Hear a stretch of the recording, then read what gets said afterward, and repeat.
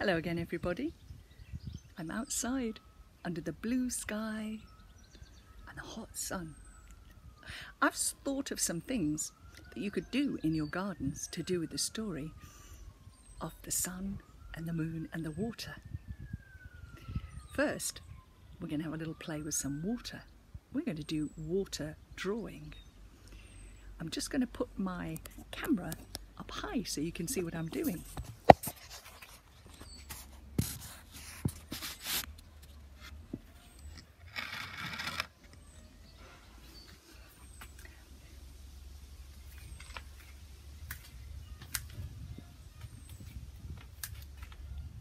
I've got a jar of water.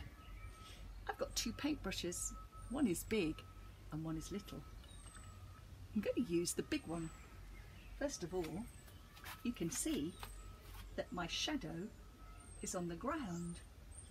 You can see my hand, you can see my big hat, and you can see my dress. And look, you can see the jar with the paintbrushes too. Going to stand here so I can paint with the water on the ground. I'm going to paint a big sun like in the story. Here's the middle of the sun. I'll have to work quickly because the sun is so hot it might dry the sun up. Now I'm going to do the hot rays of the sun. Shine, shine, shine.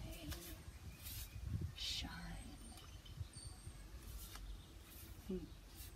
Can you see that the hot sun is already drying up our picture? The hot sun is making the picture disappear.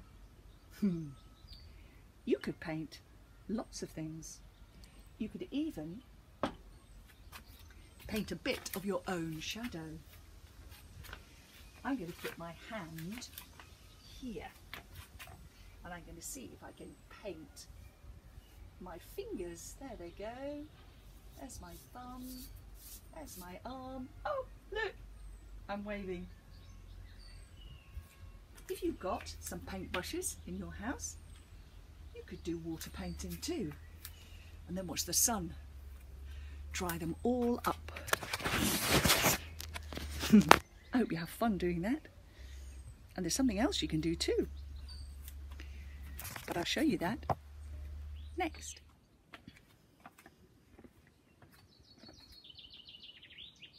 Hello. I'm playing with the sun. Here's the shadow of my hand. I wonder if you can guess what this is in my hand. yes, it's the sunshine shining through my glass of water. it makes beautiful patterns where the light catches the glass. It looks like a magical diamond shining bright. I had an idea. I thought I could draw round my shadow. I've got a pencil. I'm holding my hand over the paper so my fingers can be seen in the shadow. I'm going to try and keep my hand very, very still. If you want to do this, it might be good to get somebody else to put their hand over the paper while you draw around it. It's tricky. Here I go. I'm following the line. Oh, sometimes I go off the line a little bit because I can't see my hand very well. How am I doing? I've done my thumb and one finger, two fingers, three fingers, and four, and my arms. Do you know, I can even see the teeny tiny hairs on my arms in the shadow. Oh, there I am. now I can wave to my own hand. I had a look in the kitchen and I found some interesting things. Look at this. it makes a great shadow. I'm going to try and draw around this. I'm following the line. Here I go. it's really tricky. There's so many little holes. One, two, three, four. More and more and more and more and more and more. It would take me a long time to do all the holes, but you might like to have a go. You also might like to try drawing some of your toys. I found a toy in the basket. Ah, can you guess who this is? Yeah, of course. It's Dinosaur. I'm going to try and draw Dinosaur's teeth.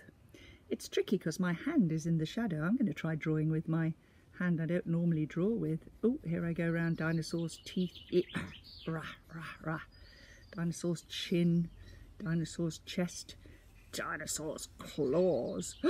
now it looks as if Dinosaur is in my hand. Oh my goodness. I'm going to draw Dinosaur's eye. Better be careful. You can make shadows with anything. Look, here is the jar with the paintbrushes in. Here is a plant from my garden. I like making it move. See what you can find that makes an interesting shadow that you might like to draw. Have fun playing with the sun. Bye!